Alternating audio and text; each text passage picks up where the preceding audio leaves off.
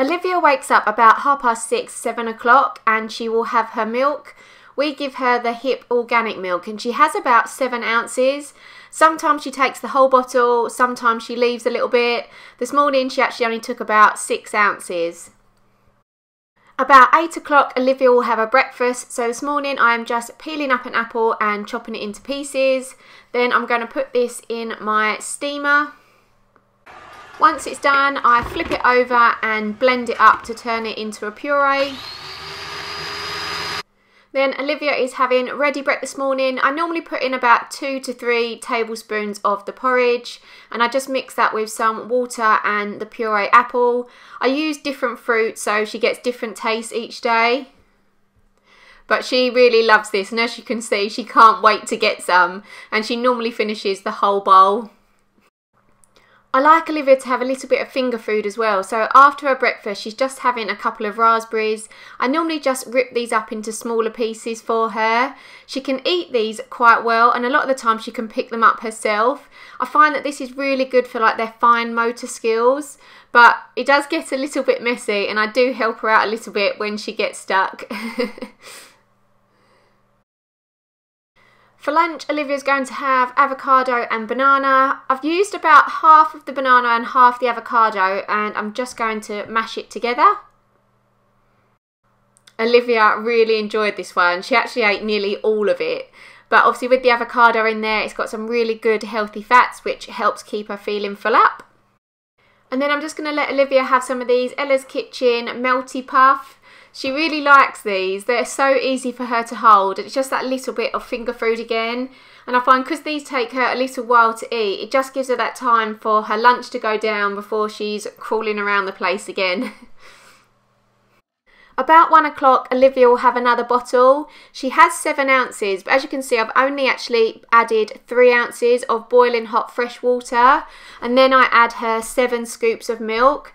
I do this because I found a way to make the perfect temperature bottle. So once I've done this, I mix it up to kill all the bacteria in the formula and then I've got a freshly boiled cooled water that I keep in the fridge and I top my bottle up with that.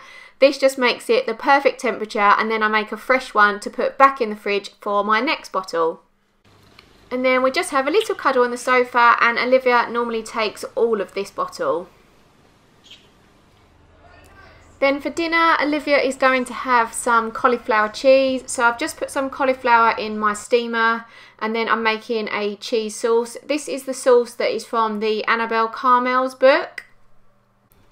And then I just blend it all together and I've made enough here for a couple of other meals as well. So Olivia's just going to have some of the cauliflower cheese with some thin toast fingers that I've made. I've put a tiny, tiny little bit of butter on this, but she absolutely loves this toast. She normally eats a little bit of dinner and then a little bit of toast, a little bit of dinner, a little bit of toast, and that's how we end up eating our evening meal. Although she hasn't got any teeth, she manages to eat this really well, and she actually ate all the toast. I forgot to say earlier, with every meal I also offer Olivia a little bit of water. We use this Dr. Brown's little sippy cup and she seems to drink quite well from it. But now she's over six months, she can actually have water straight from the tap, which makes life a lot easier. Um, and she also tries to pick this little cup up herself. For a dessert, she's going to have this Ella's Kitchen red one. This is just a fruit pouch. There's all different fruit in there and no other nasties or other stuff.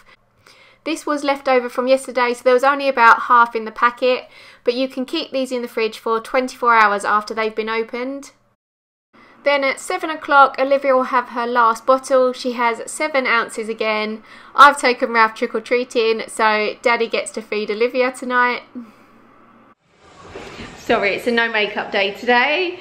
But that is what Olivia eats in a day. I hope that you enjoyed this video. If you did, let me know in the comments below and then I could maybe make this like a regular thing to do. But I would also love for you to stick around and subscribe to my channel if you haven't done so already. But thanks for watching and I hope to see you again soon. Bye!